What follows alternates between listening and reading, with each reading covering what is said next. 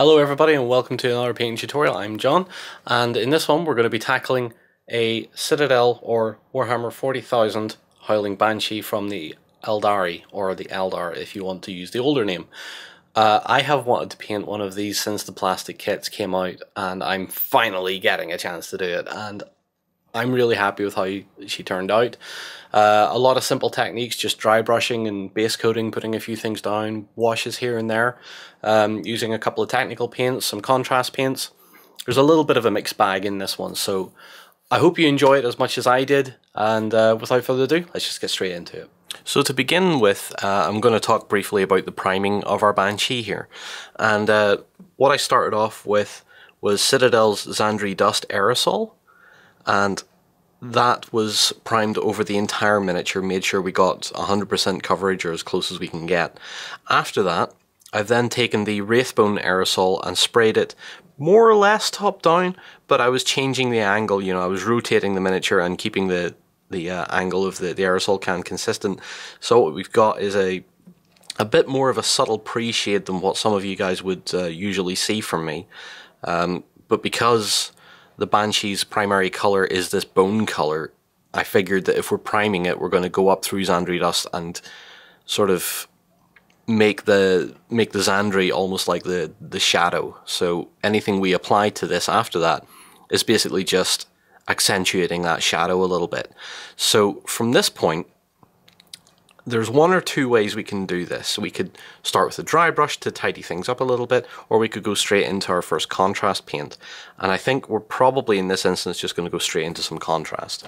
And for that, we're basically going to be looking at Skeleton Horde, and we're going to be applying that over the entire miniature.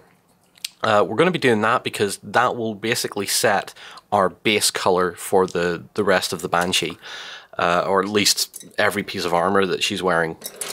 So we'll get our skeleton horde onto our brush and we'll start to apply it. Now I don't go heavy with contrast paints. I don't think um, this one heavy coat uh, mentality really works with some of these contrast paints, particularly the thinner ones, because the what ends up happening is as the contrast starts to shade, it starts to pull just a little bit too much for my liking. It's not as neat as uh, I would like it to be. So I tend not to just slap it on, which of course you can do. Uh, so the whole idea is you can just slap this paint on, it'll shade and accentuate your highlights, and you're done then. But if you go a little bit thinner with it, a little more careful, you get far better control over that end result. You get a slightly tidier end result as well, which is pretty important. So with an emphasis on making sure that each step adds something to the miniature without requiring too much um, tidying up afterwards, I tend to just take the contrast paint a little bit more subtle, a little bit thinner than what um, what's recommended, which is absolutely fine. It just tightens those lines up a little bit in the shade. Plus, we're also trying to emphasis, uh, put an emphasis on ease and speed of the, the actual painting. So going a bit thinner means less tidy up and hopefully a, a, a nice tight result. So we'll just go on ahead, just make sure we're not missing anything as we go around. This is what I love about this this minute this this handle as well. I can just sit and rotate it to my heart's content and make sure I've caught everything I want to catch. At this stage, things I'm not worried about is any of the detail on her armor. We're just trying to make sure that we get this color down.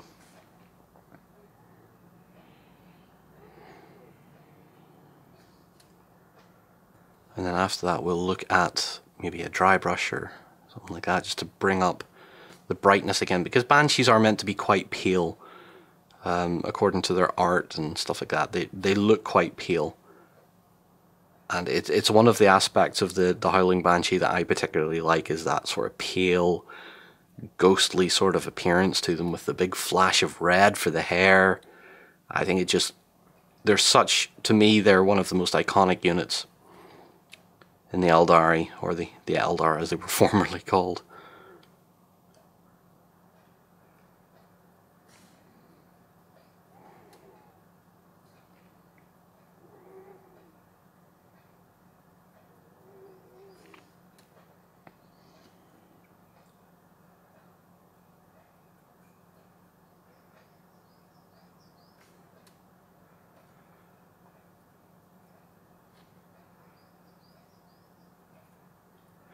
I will say I've wanted to paint one of these for a very long time. Uh, ever since the contrast paints came out as well, I was like, this is my time to do to paint Eldar, so I'm finally getting a chance to do it.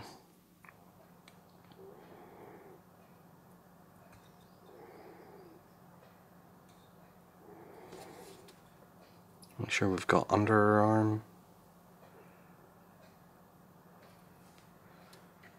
And then we'll just work up onto the helmet. We're not too worried about the helmet at this stage, you know, eye lenses and stuff like that.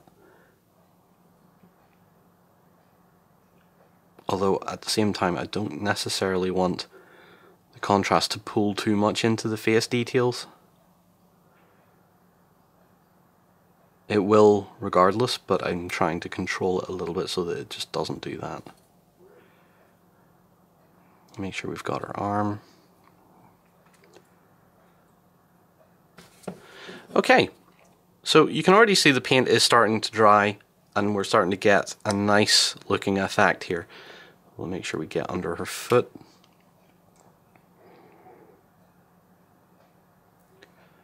You can see what I mean by going a little bit more subtle as well. We don't want to ruin it too much.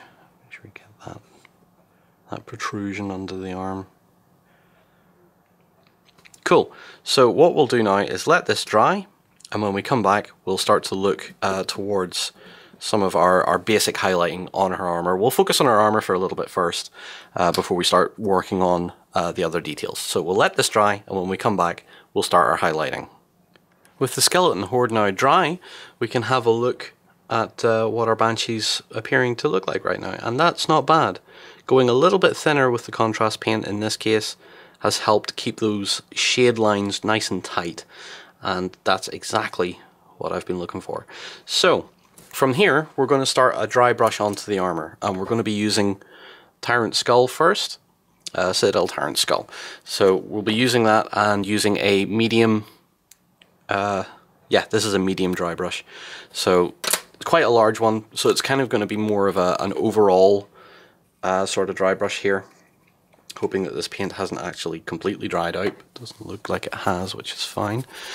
So this is the first step of bringing the Wraithbone colour, the brightness of the Wraithbone back out again. And we'll be starting by doing this. So let's have a look here and see what we can do. So we want to have an overall kind of dry brush effect here.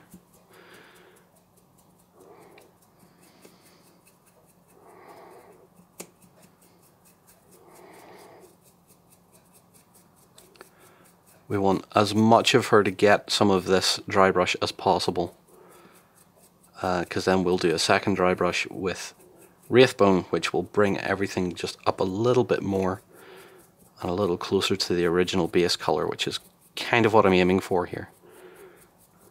And we're doing this in an effort to further tighten up the shading that the contrast paint is providing us.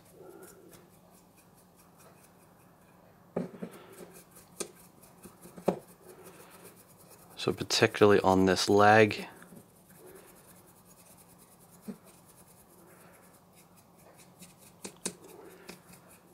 So anything where she's sort of hyperextending, so like on this leg, on this arm, there's a lot of surfaces that are going to catch a lot of light.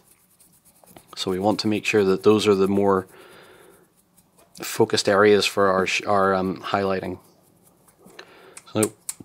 Not as much on the inside of her right leg. And when we come to do the, the Wraithbone dry brush after this, we'll probably not touch that at all. We'll just let that sit the way it is. So at the minute, that's okay. I think a little bit more won't go amiss here. And I have noticed that my paint is a little bit drier than it needs to be. Or should be. That's a bit of a problem, but it's not the worst. And the only problem with doing this miniature, this one that I chose in particular, is that she's quite lithe. She's only got one contact point to the base, which does make her a little bit bendy and a little bit annoying that way. But I thought it was the nicest pose out of the, the set, so...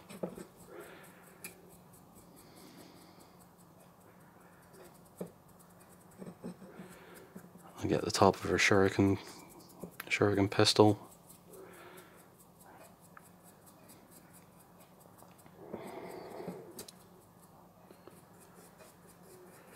Get that, that face plate in. Sorry I'm wandering so much on the camera.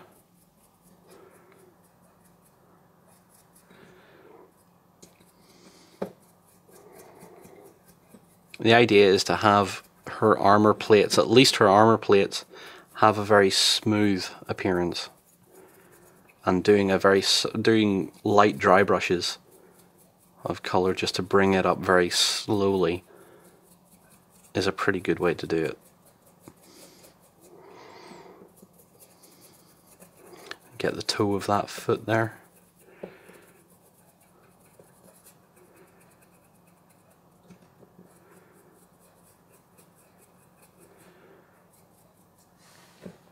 Okay, so that isn't too bad.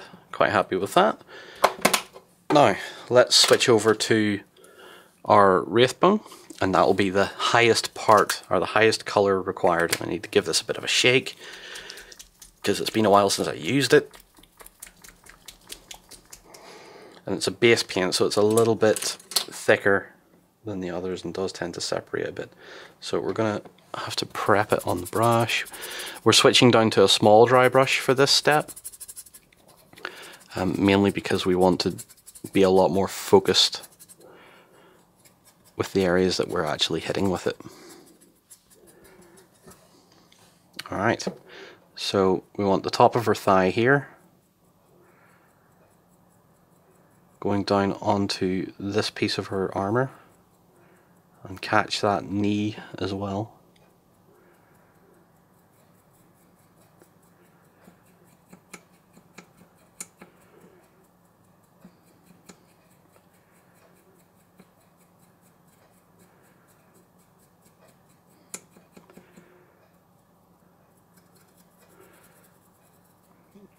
On her chest and there's a little bit of an edge on that shoulder pad. On this part of her arm. And then we want to get as much really onto the face mask as possible. We want to bring that up a fair bit more than the rest. Make that one of the defining features of the miniature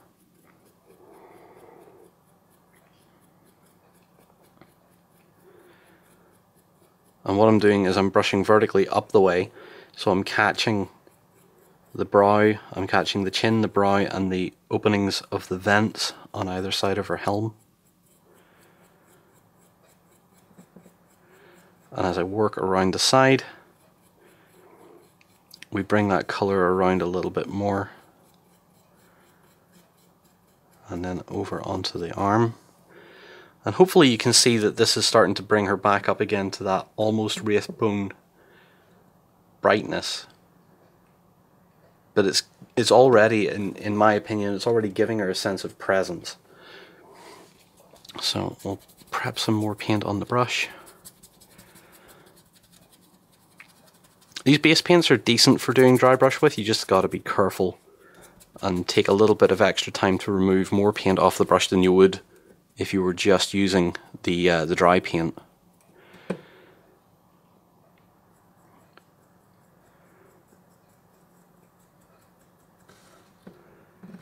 And after that, we want to look towards the back here a bit, sort of catch some of these details that are remaining in a little bit of shadow.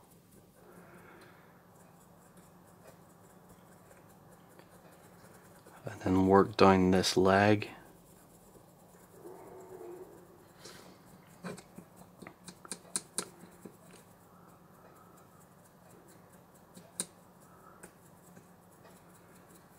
Onto this arm where there's not as much going on. There's a fair amount of it in shadow, but we want to bring up some of the muscle definition on her on her upper arm as well as this protrusion here underneath.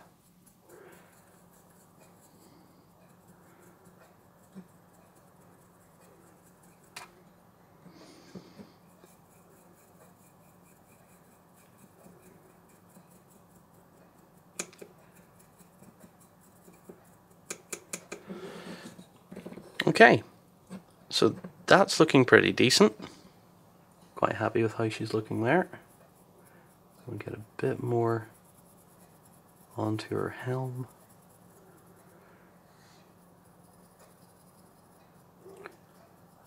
And across the top of her chest, particularly in the leading part of her chest here, there would be a bit more of a highlight going on across her shoulder and down onto her chest.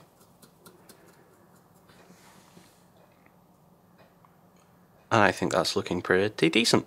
Now, of course, we could go on and start to hard edge certain parts, but we don't really want to be doing that if we're trying to get this ready for the table, you know. Um, we don't want to focus too hard on some of these details. So, with that said, I'm going to say that the base color of the armor is done. I'm quite happy with how that looks. I think the um, the skeleton horde and the two dry brushes have really helped over the prime. Now it's hard to tell at this stage just how much we're gaining in shading uh, from the Zandri dust. However, though, when you look up at the miniature like this, the Zandri dust is far more prevalent. But even from a level, sort of eye level, there is plenty going on there, just in that armor color alone. I think that's quite interesting looking. So, with that said, we'll probably move on to some basic, uh, yeah, I think we'll move on to some basic coloration here now. So, we're going to start on her mane here, this amazing looking mane. And to begin work on that, we're going to take another dry paint called Praxeti White. And we're going to use our small dry brush first get it into the paint and get that working.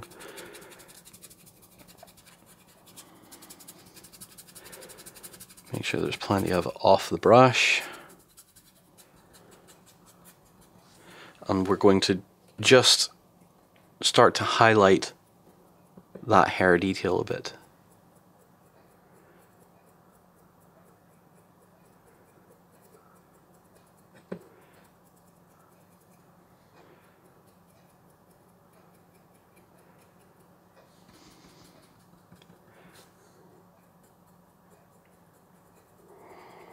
And we want to particularly hit it on the top areas and where this the mane sort of curls back on itself in towards the helm. We want that to become quite bright. Now we do need to be careful with this because we might risk getting some of the Praxeti white onto the armor.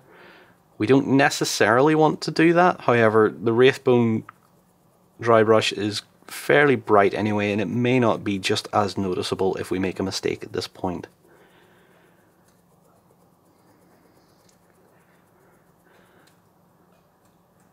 But still want to be a bit more careful as we do this.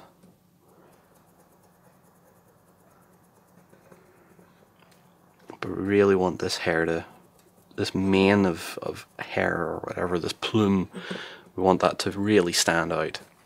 Now, that's all we're going to do for that, because now we're going to move on to some ink. And we're going to use Green Stuff World Intensity Ink, Sanguinium Red, or sa yeah, Sanguinium Red. This is going to need two or three coats. So I will show you the first coat going down. And when the first coat's down, we'll let it dry and then we will push on with the next one. So this stuff is great for building up color. This ink in particular is definitely one of my favorites. It's just so punchy and using this on a Banshee to do that classic red plume hair is absolutely perfect for it because of the just how intense the color is once you've built it up over a couple of layers. Again, we've got to be careful here though, we don't want to mess up that armor color that we've just spent the first part of the, the tutorial on. And because the ink is transparent, the dry brushing that we just did with the Praxeti White will help maintain this brightness and help the, the highlights really pop.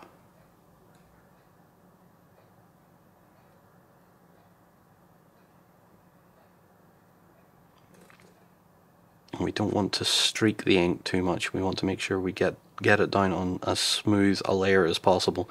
So to be fair, your first couple of layers are going to look a little more pinky than you'd want them to be, and that's okay. Remember, we're going to be doing multiple coats here. So that's what you're going to get after one coat pretty much. It's a little bit watery, it's a little bit thin, but we're going to let each coat dry and we'll apply roughly three of them. And this is the only main major piece of red detail I want on the miniature. So this is the standout piece for her. So we're going to let this finish the, the first coat off, going to let it dry, and then I'm going to do the next two coats, and you'll see what I mean in the end. It's going to be very bright and very poppy. With the ink on the hair now dry, we can have a look at just how vibrant this has actually turned out. And if you're neat enough with it and you're careful enough with it, that dry brush and then two layers of ink, basically two layers of ink, will get you this lovely looking, really lush and vibrant hair. And that's what's really making this miniature stand out. Now, we can always say later on we want to highlight this a bit more.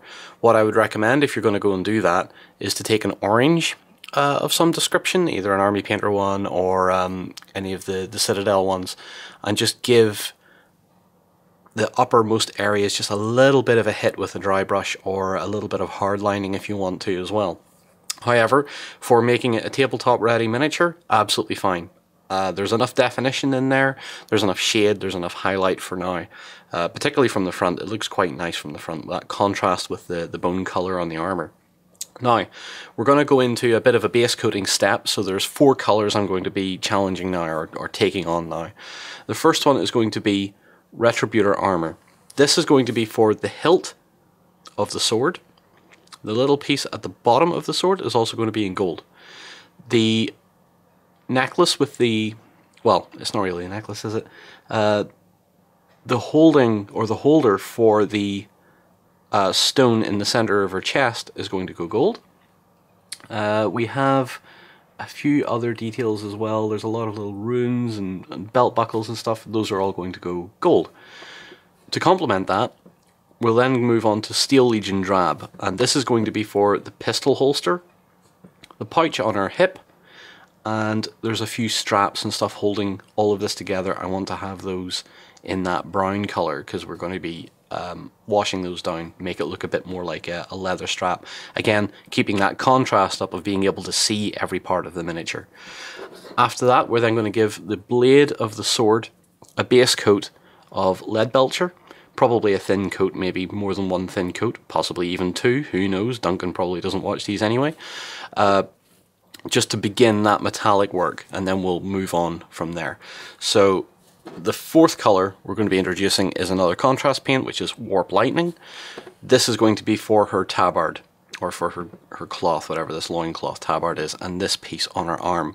This is going to denote her as a Howling Banshee of uh, Bieltan, Bieltan, Bieltan, Baltan, Bieltan uh, that particular craft world. We're going to go nice and simple with this uh, and just use that as the, the accentuating colour that would match in with an army. Uh, I know Bieltan is basically white with green, so I'm thinking, you know, bone, and she's going to retain that green in the tabard that she's wearing. Uh, there is going to be one more step I will do off camera as well, and it's going to be picking out uh, the gemstones the ones I want to be gemstones in this case, because not all of them are going to be gemstones, uh, picking them out in um, this layer color, white scar. We're going to be picking them out because we're going to be coloring those later on. Um, yes, and the eye lenses as well are also going to go white scar. So we'll be doing that off camera. Um, because that's a very difficult thing for me to do. However, I am going to start with the green and we're going to do her tabard in this Warp Lightning. This is quite a heavy contrast paint. It's very um, translucent, I think. No, it's more opaque, sorry. So when we start to apply it, we're starting to build up that nice green and maybe one coat will be enough but two might give us a bit of extra depth in the part. So we're going to continue on with this, get all the other base coating steps done and out of the way. And from then, we'll move on and uh, start to add a little bit of detail.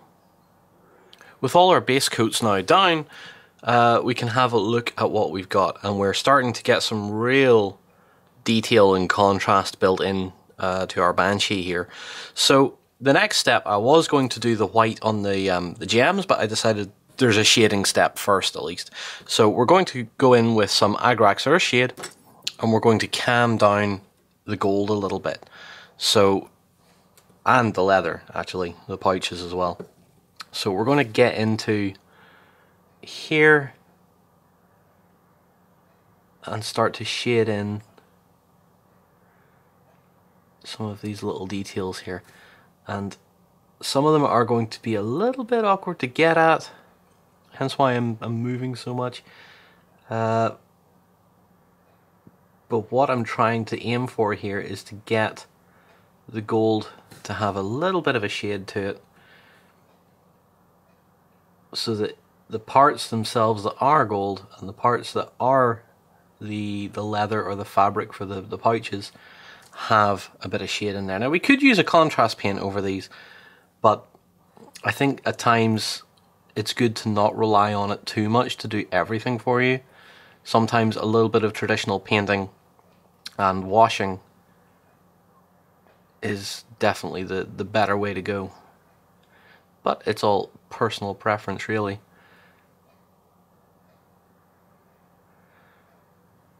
Okay, bring that around there. And then we can work on the sword hilt. Which again, we'll just get a good layer of shade onto that. And down at the bottom there too.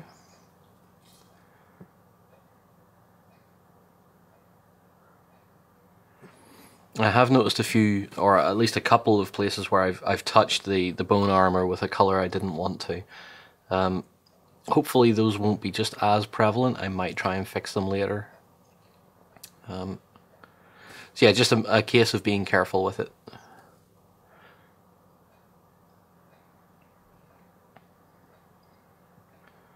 I mean that's that's something I I've already preached about anyway during this this video, so I won't preach about it too much more. Okay, and then we have the ring down her on her left ankle, which I did in gold as well because I thought it just balanced the model out a little bit. You know, there's a lot of gold detail further up and not a lot down uh, lower on her body, so I figured if we did that in gold, it would balance things out quite nicely, and I think it does. So, with that done, and out of the way, we can then move on to layering the sword up. And we're going to use Runefang steel on that blade. Uh, just to really heighten the, the level of shine. I need the sword to be as shiny as I can get it. Because I'm going to be putting a contrast paint over it once I have that achieved. So, let's get in there with the Runefang.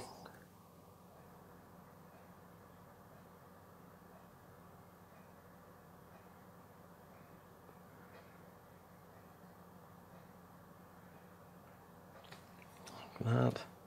And this is me applying it as thinly as possible as well.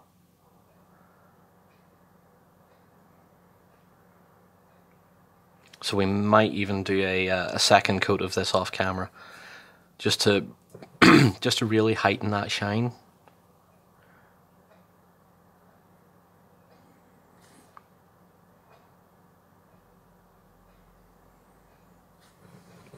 So that's the majority of the blade done like that. I think I'm happy enough to say that'll do. now, we can finally move on to um, applying some white to the gems. And like I said before, we're going to be using some white scar for this. I'll move you back into a bit of focus. And I think I've shaken this up enough, so hopefully my, br my hopefully my brushwork is tidy enough to, to pull this off. And if it's not, hey, none of us are perfect. So let's pick out some gems real quick. Oh, I see I've missed one right on her, her right thigh there, so that's a bit of a pain. I'm going to have to come back and do that with the gold.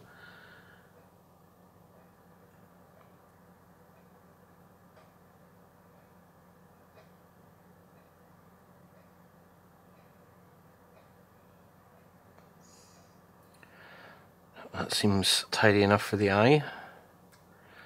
Now, can we do it twice? And in reverse.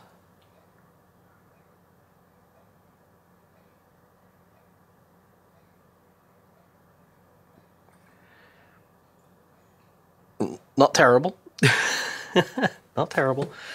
So, let's just pick out a few more here. So this one on the arm's probably dry.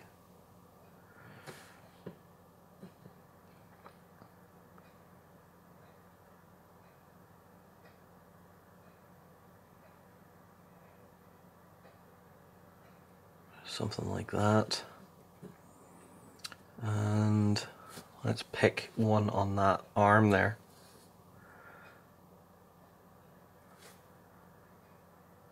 Sharpen my brush tip up a little bit.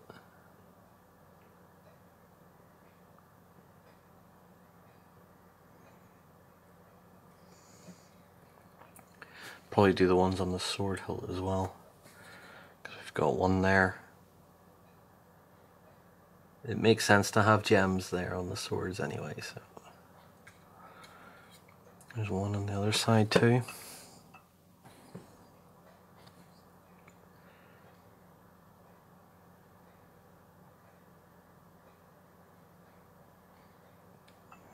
Okay, just a little bit of white there. Then we can move on to this one on her chest.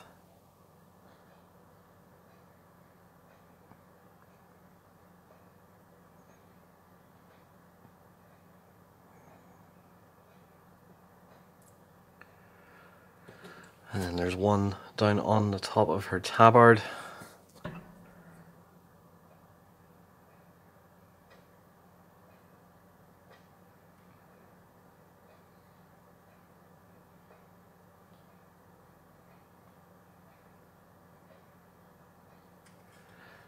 I think we'll do this one further down her leg as well.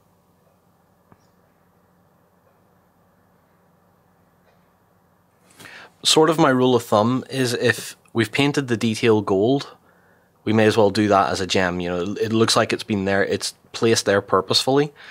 Whereas the ones on her legs and her thighs here, for example, and there's one on the side of her head, feel more like pieces of wraithbone, shaped wraithbone on the armor. Uh, like we could do this as a gem at the back, but we've already got a gem on her arm here and on her sword that's visible, and one on her arm. So it's kind of making sure that we've uh, pointed out the, the gems that we want to be there on purpose and actually have them serve that purpose. So, off camera, I'm going to probably give another layer of Runefang to the sword blade. I'm going to correct myself, paint this little piece in gold and then paint the white on it. And then we can come back and um, we can actually work on the gems and the eye lenses and we'll see how much character we manage to get out of her from that. So with all my um, little corrections and extra layers done, uh, I've given every gem another layer of the white, including the ones in the eyes, and the blade has another layer of uh, Runefang steel on it. So, we're going to start with the gems and the eyes.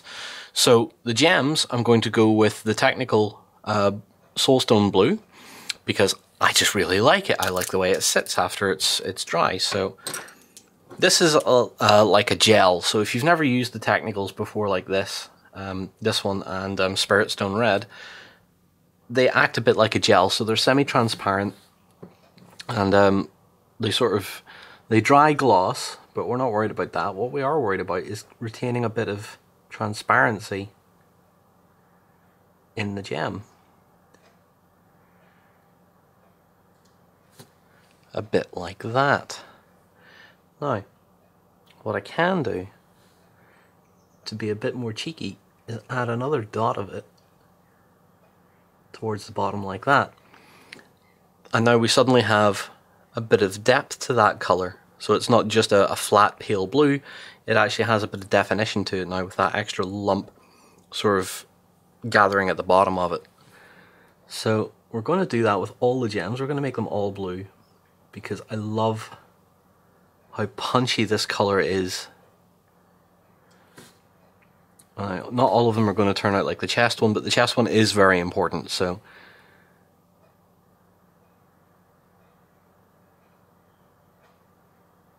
One up on the arm, and then add a couple of extra touches to the bottom so that we get that, that depth going again. And let's go down onto our tabard, as we've two down here.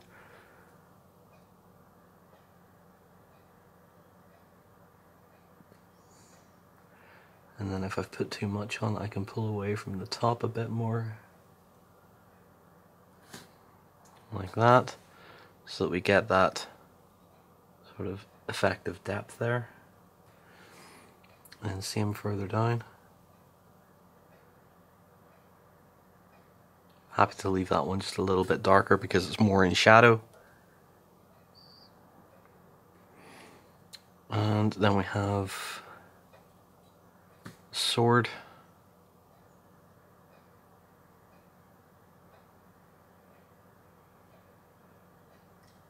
Take some off on my thumb there. remove some of the the color away so that we have a, a little bit of a glint. Plus I love how the, the blue really contrasts and pops on this armor and the general color scheme. And we'll get this last one on the sword.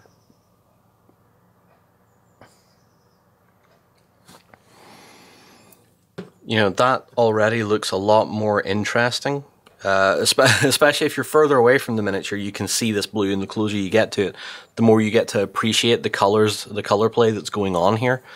Um, so now we're going to move on to the red. And the red is Spirit Stone Red. Surprise, surprise. It's the exact same kind of material. It's like a gel, it's like a transparent gel. And we're going to be using that on our eye lenses. So, see if I can get the lid to open properly for me. And hopefully I don't have too much water in my brush either. Right. So what I'm attempting to do here with the eye lens is basically fill the space that the lens has. So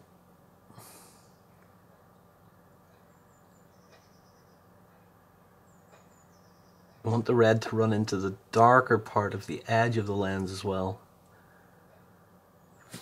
because then we get something very vibrant with an edge to it as well. It looks very lively, that red, with the, the white undercoat.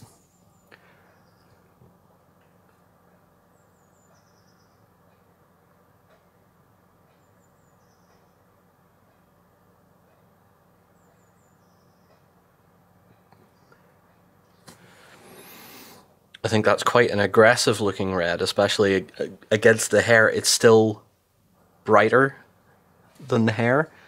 And if we want to, we can go in and maybe remove a bit from the center of that lens to start to accentuate the fact that there's a white under it so it sort of looks a bit more alive and a bit more aggressive.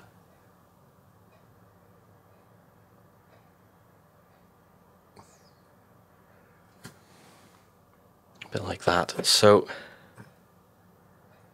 that is not bad looking at all.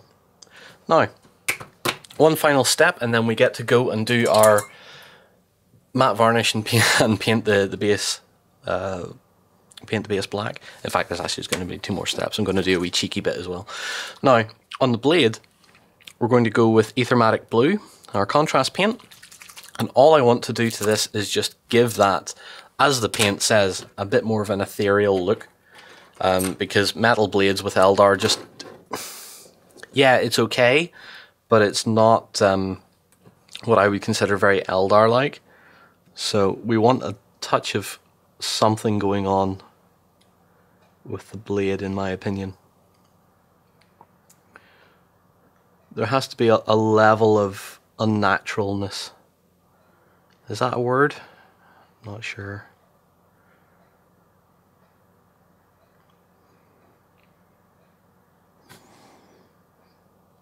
But I definitely want the blade to have some kind of odd quality about it that just takes away from the fact that it's essentially painted in metallic. So something like that. Around on the other side.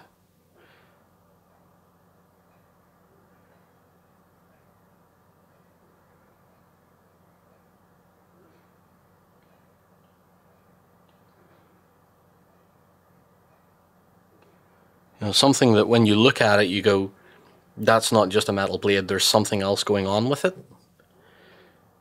And I'm not sure if I'm happy with how that side looks. I think maybe going a bit heavier with this because this is one of the thin, one of the very transparent contrast paints.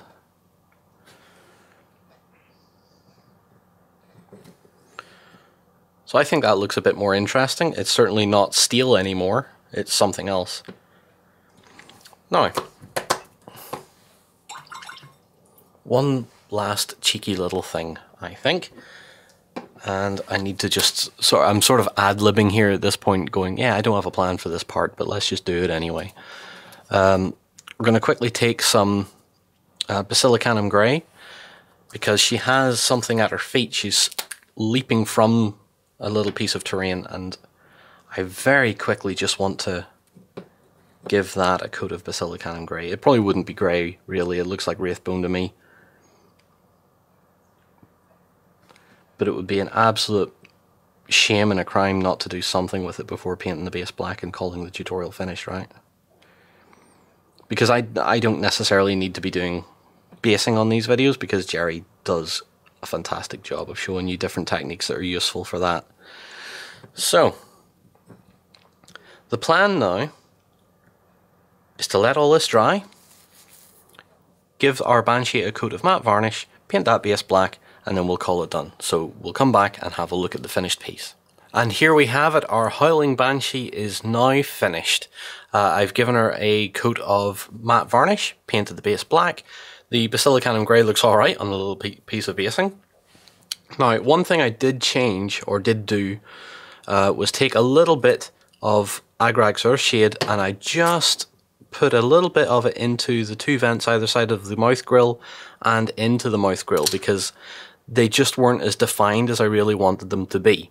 Now I probably should have done that earlier or I should have figured that out earlier, but as I before I went for the um, uh, varnish step, I realized actually that's not as visible and prominent as I want it to be because it adds to that visage or visage of this aggressive woman with a sword and a pistol. She's coming to get you. And I like that shape of helmet, that face mask is very intimidating and uh, very aggressive in the stance. And that's that's what makes a Howling Banshee for me is that sheer aggression with this bone white armor, this big flash of angry red hair, and um, yeah, just the the elegance, the elegance mixed with aggression is really, really nice looking. I think it's one of the best models in the Eldar range, to be honest. Um, but yeah, that's my opinion.